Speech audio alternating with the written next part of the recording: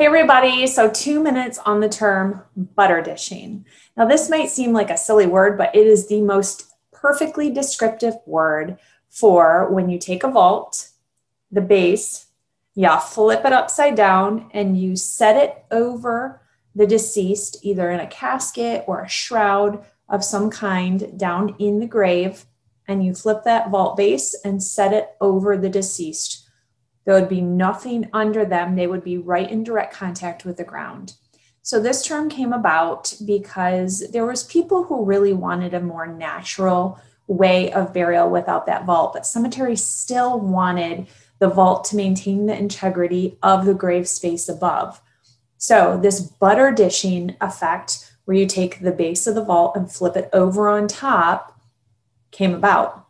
Now the Green Burial Council says this is not a green burial. True.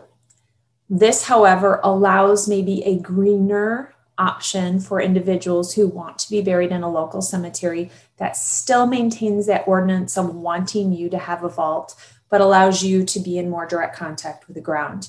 This also has helped in some religious settings for maybe Jewish or Muslim, where the individuals wanted to be buried in that direct in the most natural way possible, but yet the cemetery was not willing to budge on their rules and regulations of needing a vault.